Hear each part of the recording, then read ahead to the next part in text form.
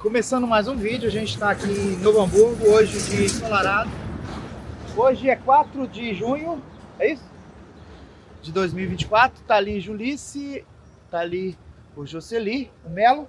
Vão ficar aqui e a gente está indo agora para a região do Vale do Taquari. Tá aqui com a lotada, pessoal, de coisas. É, estão levando travesseiro, coberta, estamos levando é, meias, toucas, e aqui, ó, o carro lotado de material de limpeza e material também, ó, cobertas, tá indo roupas femininas, adulto, água. E aqui material de limpeza até na boca. Até o teto. Aqui tá o Felipe. Isso aí. De boa. Ali na frente tá meu amigo Neneco. Aqui ele, né, o Neneco aí. Sim, senhor. Manda um abraço pra mamãe, pessoal lá de... Um beijo. Obrigado a todos aí que apoiaram, estão aí orando, ajudando. Isso aí. É isso. Os nossos amigos Wagner, Paulo Itajuru, Paulo Papelão e um monte. Isso aí. Filho do Geraldo, da Sotel, o Alexandre. né? Tarsila, que mandou dólares. Isso aí. Todo mundo ajudando, pessoal. Isso aí. Agora a gente vai subir o Vale do Taquari. Dois carros. A gente está aqui nessa... Junto com essa equipe aqui de Juiz de Fora. Lá de Minas Gerais. Tá chegando o dia de ir embora, né? Essa semana. Já tá aqui mais de uma semana. Isso aí. Show. Então bora lá. A Cris tá ali. Cadê a Cris? Bora, Cris. Já, tudo guardadinho. A Cris tá levando o almoço, né? Bergamota. Bergamota, pra quem não sabe, tangerina. Partiu então. Tchau. Tchau. Hora de dar tchau.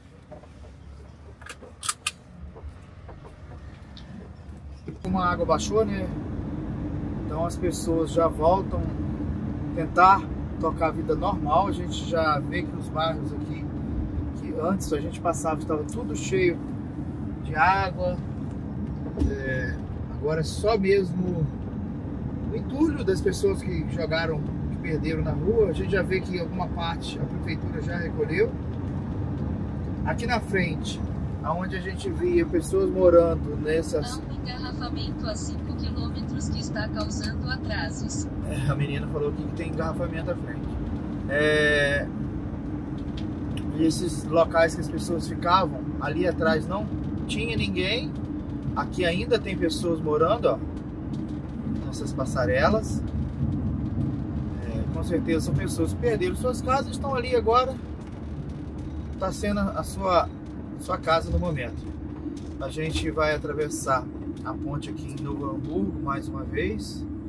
A gente vai passar na estrada que vai em direção a Lajeado, porque é onde a gente tem certeza que está tá liberado a- as pontes. Mas olha a loucura. Aqui na frente, pessoal, é um parâmetro para a gente saber desde o dia do dia 15, né, quando a gente começou a chegar nessa região, que isso aqui estava tudo cheio da água. É, inclusive aqui as concessionárias de, de caminhão, Hoje tudo seco, mas os caminhões todos ali ainda abandonados, vão. É, a gente não vê nenhum movimento de alguém tentando recuperar. Aqui mais uma concessionária. Aqui a gente já vê que eles já estão fazendo as as manutenções. Ó. Os caminhões com os motores abertos. Aqui a empresa a Dali Aço que a gente sempre mostrou para vocês aí, era o ponto mais baixo, onde as bombas estavam ligadas aqui na frente, não existe mais bombas e a empresa já voltou a trabalhar. Tem dois caminhões ainda na frente ali que, que foram cobertos por água, tem um carro ali também que foi coberto por água, ainda está ali. Então a vida volta tentar ficar normal, né? E as pessoas têm que continuar, né? Os geradores já estão sendo retirados aqui na frente, onde estava alimentando as bombas.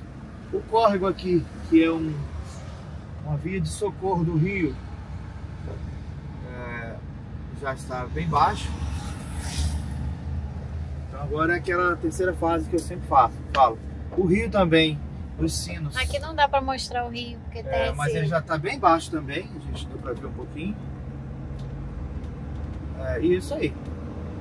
A gente agora está atravessando é a ponte aqui. Aqui vai, dá pra mostrar, ó.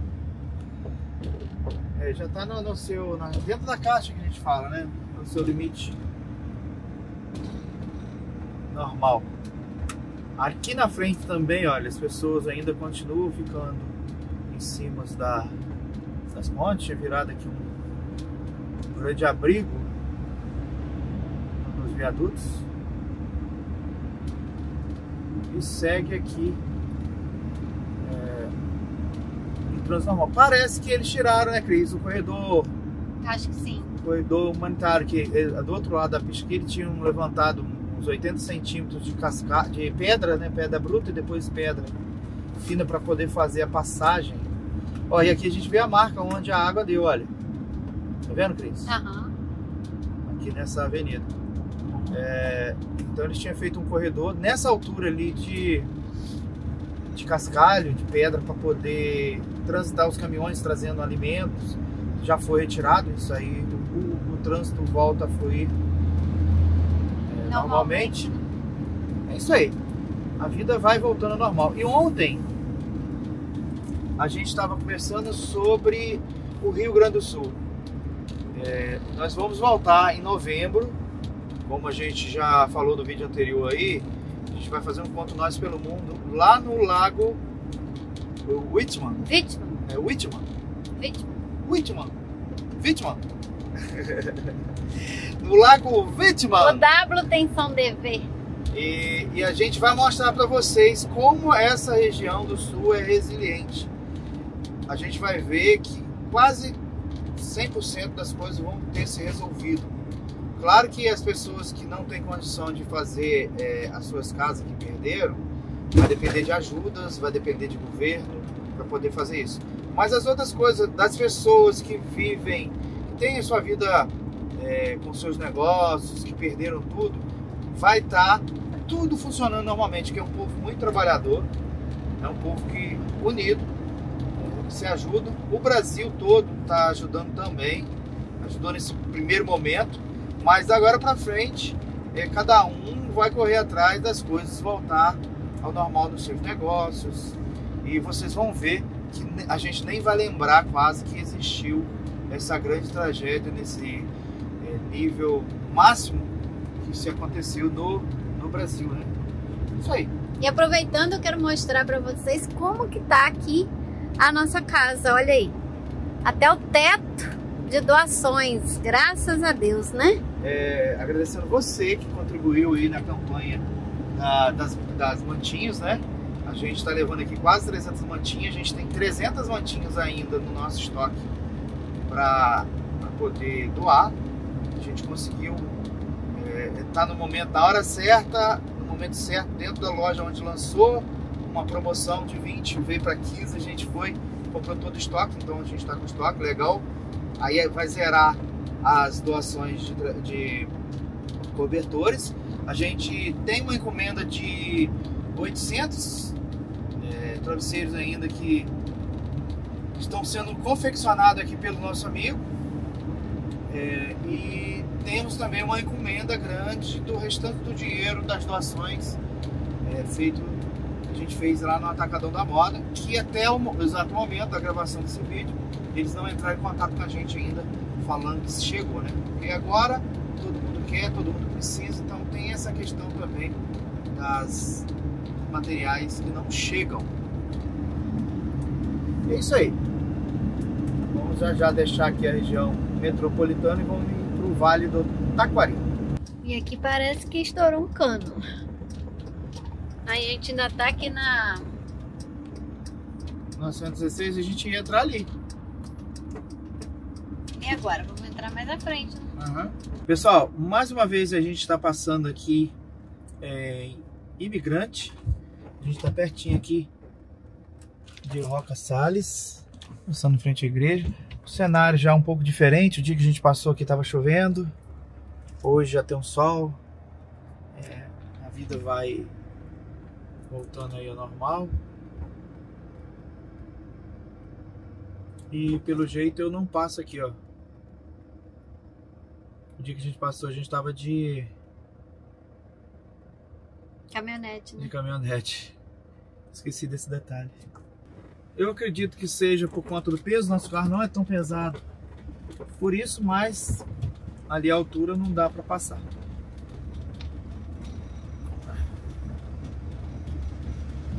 O menino ali falou que tem uma outra passagem aqui. Ah, já deu certo. Isso aqui é um local também que passa muito forte a água. Aqui já é o rio. é, Como é que chama, Cris? Ai, tô tentando lembrar. Taquari. É, já é o rio Taquari. É Isso aí. Já já a gente. Tá Chega. chegando, né? Aqui tem uma plaquinha, eu acredito que feita até por moradores, olha. Desvio para Colinas. Colinas e Roca Salles é o mesmo caminho. É só para evitar daquela ponte lá cair com peso. Olha só. Roca Salles, Colinas. Já estamos de volta no caminho. Pessoal, da última vez a gente chegou até aqui e a gente não conseguiu seguir porque a ponte estava fechada para manutenção. E aí quando liberou já estava muito tarde, a gente resolveu ir embora. Hoje a gente veio preparado, a gente vai é, ficar por aqui. É, aqui que a gente foi nesse galpão, ó, tá fechado. Vamos seguir agora para dentro de, da cidade. Acredito que a gente esteja aí a uns 6 quilômetros. E a gente ficou sabendo que continua aí naquele sistema de um tempo fechado para consertar a estrada. E agora à tarde abre às 4h30. Agora são 3h15. Isso aí. Então vamos ter que esperar um pouquinho. A estrada está fechada, como a gente já previa. E agora é esperar liberar aí pra gente estar passando.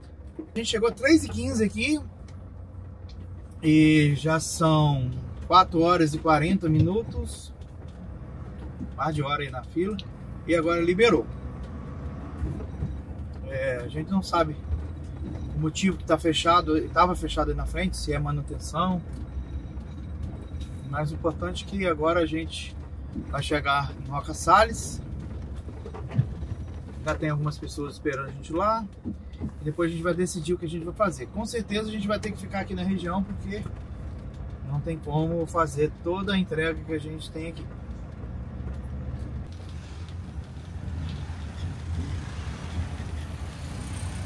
Só a gente continua aqui, é, da parte mais alta a gente vê a grande destruição que o rio fez, mas além do rio a gente vê que tem locais que desceu muita barreira.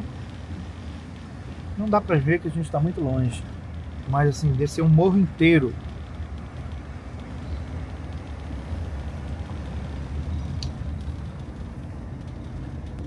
Pessoal, e a gente está aqui no local mais alto. E na nossa frente a gente está observando várias barreiras ali, ó, que desceram com a chuvarada. Agora a gente não, não sabe se aqui essa estrada ela já era asfaltada e devido a tanta quantidade de chuva ela foi desmanchada e eles estão refazendo.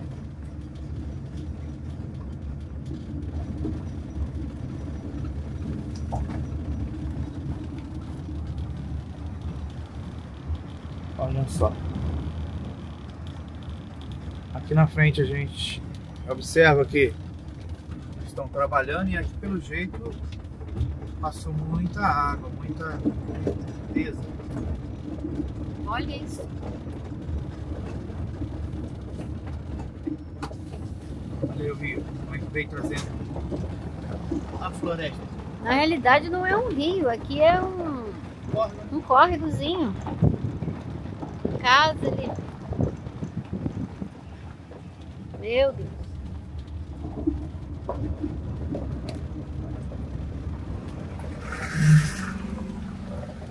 Olha só. Essa casa aqui, a lama passou do lado dela, aquela outra ali entrou. Lá embaixo o galpão parece uma empresa passou por cima.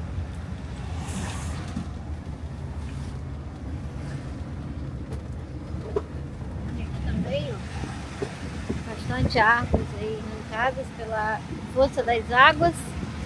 E os morros que a gente estava vendo, que a água derrubou lá de cima, ó. A gente está passando agora aqui por baixo deles, ficam aqui nessa lateral.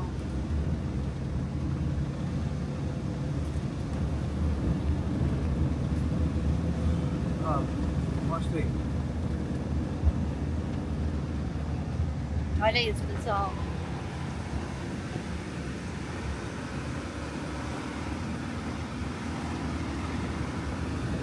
É, Enquanto a gente parado ali, a gente tá conversando com o pessoal aí né, da região.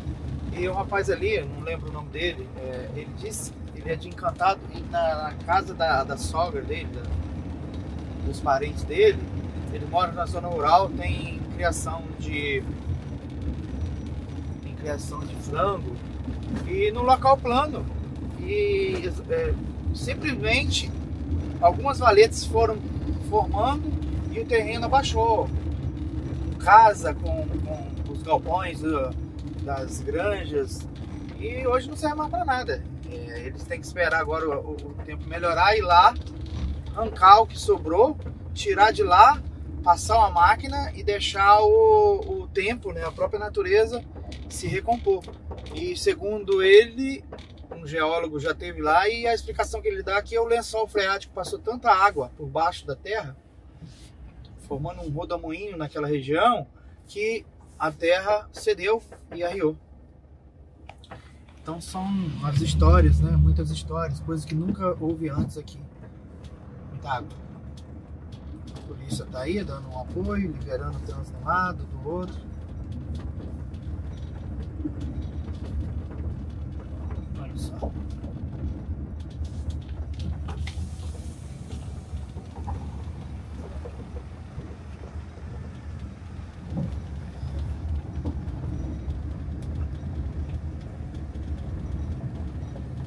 É aqui, ó, a gente vê que É, assim, desceu muita é água. muita água, muita água. Só aí a gente vem andando e vendo as destruições. Uma pena que a gente consegue mostrar tudo, né?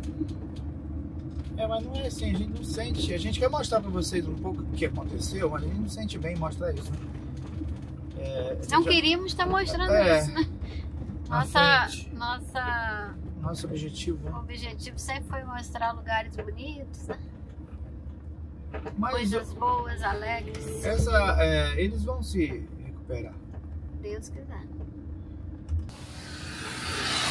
Olha só. Aqui com certeza era. Foi tudo aterrado.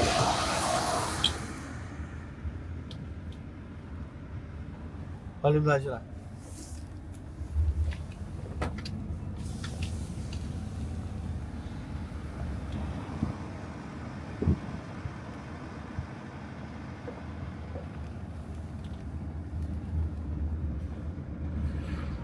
A cor dessa água ainda, é?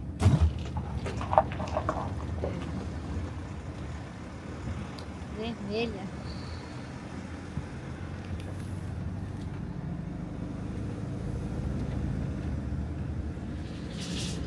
Aqui alguém escreveu ali o quê? Pegamos enchente, doações de móveis. Pessoal, agora a gente tá passando aqui na parte central, assim, na chegada aqui da cidade, né? Olha só, esse bairro aqui. Não existe mais.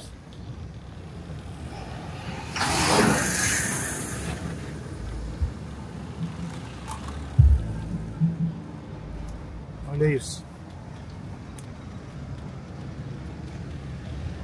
Como é que ficou essa casa?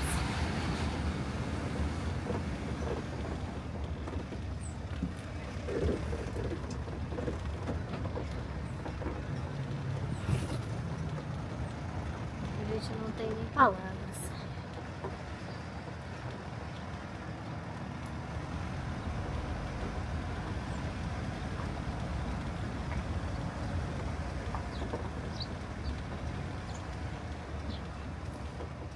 E a vida tem que voltar ao normal, né, pessoal? O açougue já lavou tudo, já tá aí trabalhando. Olha essa casa, como é que tá. Aqui tem a casa em frente, nem a casa tem, olha. Verdade. E a água, né? E aqui não tem rio, né? O rio tá longe. Da onde vem essa água? Tem rio, mas tá longe, né? Tá lá de baixo. Deus que as pessoas tenham saído, né?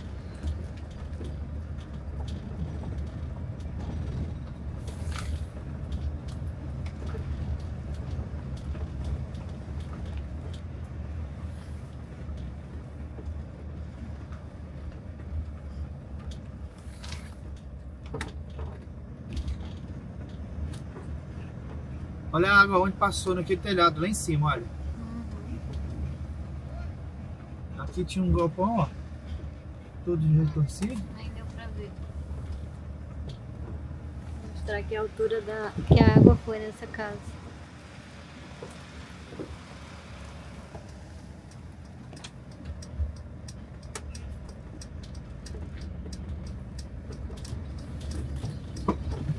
Ali tirou to- todo o telhado Pessoal, olha só.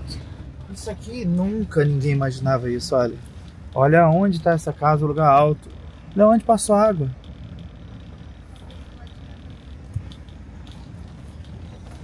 Vou dar uma parada. Olha isso, gente. Incrível. É ina- inacreditável. Nunca as pessoas que moram aqui nessa, nesse bairro imaginavam isso.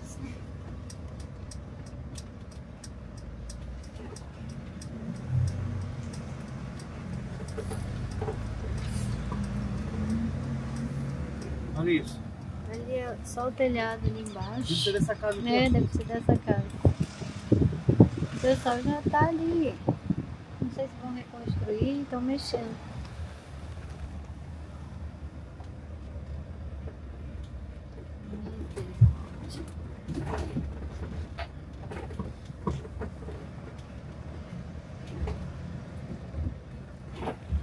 O muro da escola foi embora.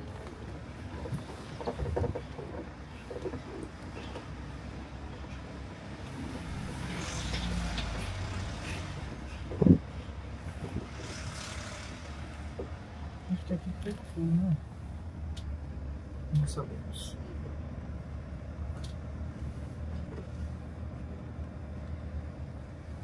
Olha isso. Meu Deus. Casa de alvenaria. É que não respeitou nada.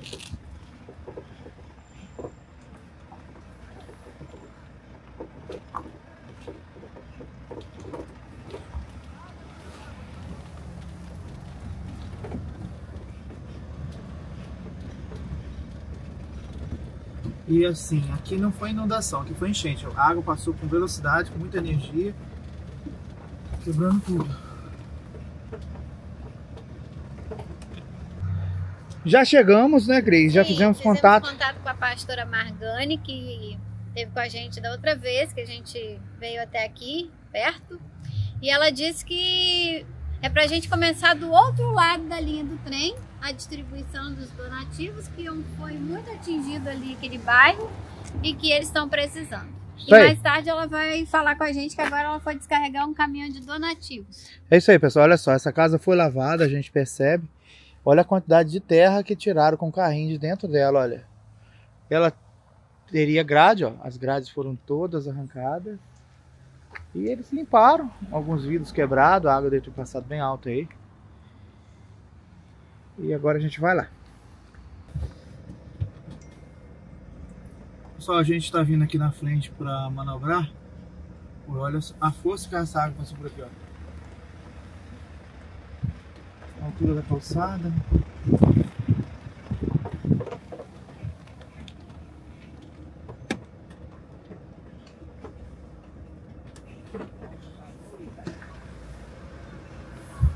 Acho que a gente passou por aqui, né? Não, não sei.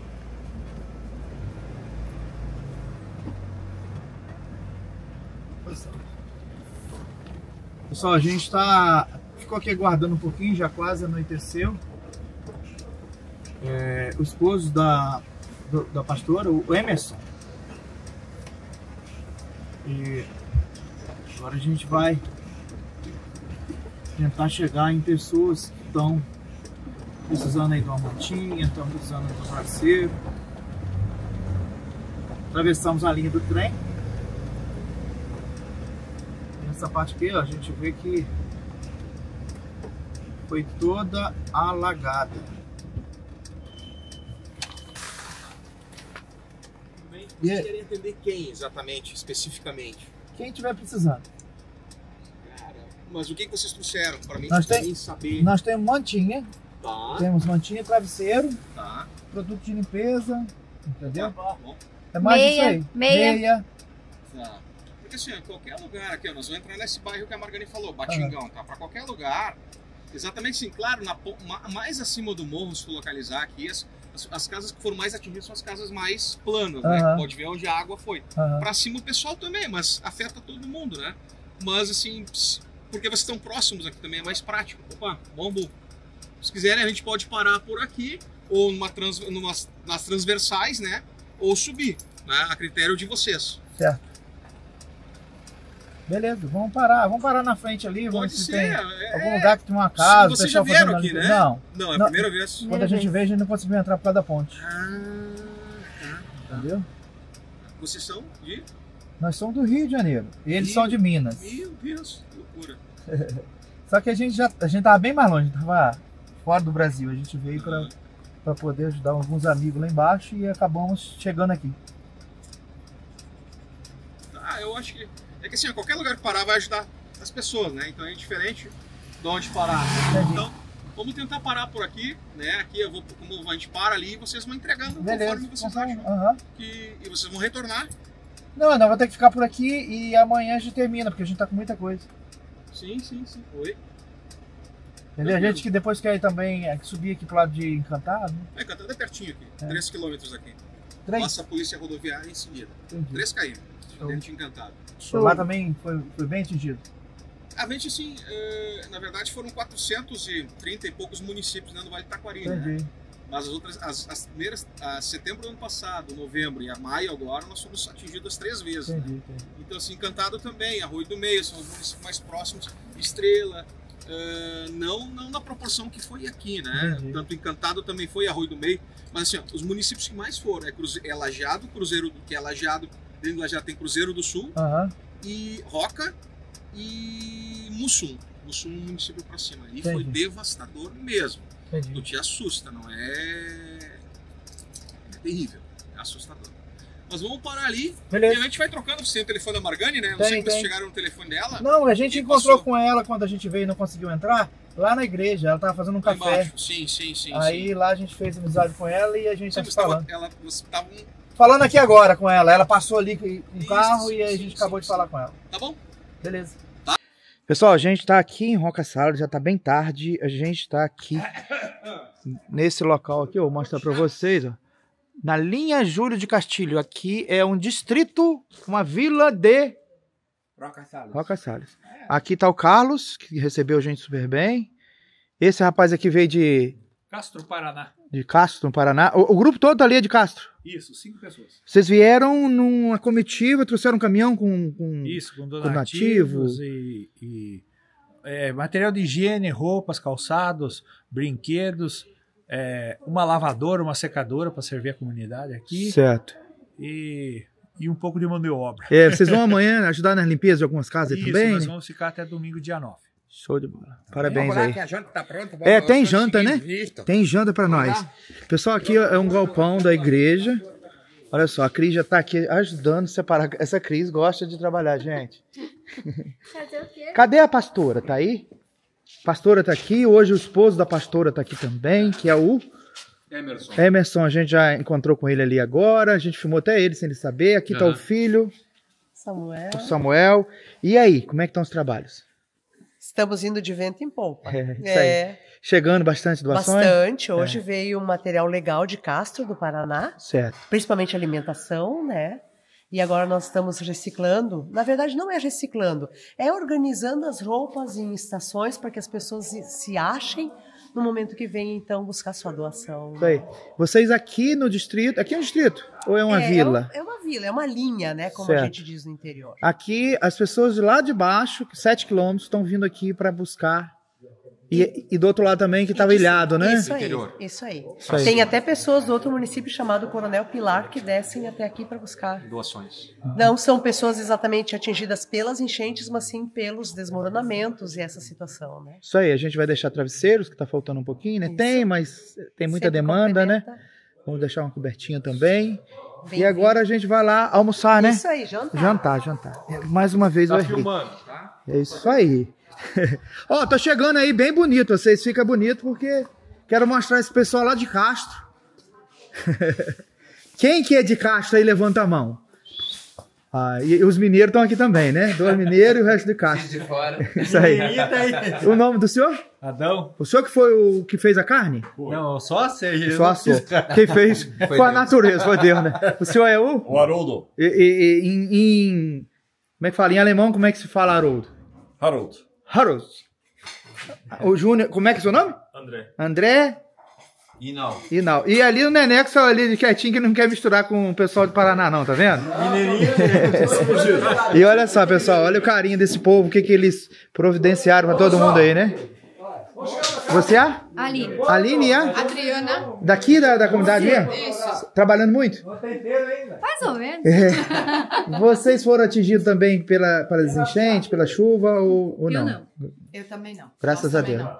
E aí tá ajudando quem tá Isso. precisando, né? A gente ajuda quem precisa. Isso aí, então vamos lá que senão a comida esfria, né? Pastora, Nós vamos fazer uma oração. pastora, nós vamos puxar um hino depois. Pode ser, vamos fazer um hino. Deus Não. nos deu, Deus nos dará. O pão de cada dia não faltará. Que Deus abençoe a cada um e cada uma, pela sua disposição, porque nós só estamos aqui pelo chamado, o dom que Deus nos deu para a vida. Que possamos celebrar esse momento com um jantar, mas que possamos mais do que isso celebrar a vida, porque é Deus quem nos uniu. E eu tenho dito uma coisa muito especial: Deus uniu pessoas com pessoas que talvez jamais na sua caminhada se encontrariam.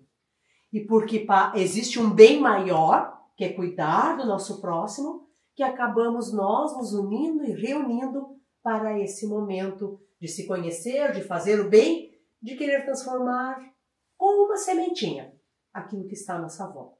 Peço a Deus que abençoe cada um e cada uma no ir e no vir, no dia, na noite, em todos os tempos. Amém. Amém. Bom apetite! Aê!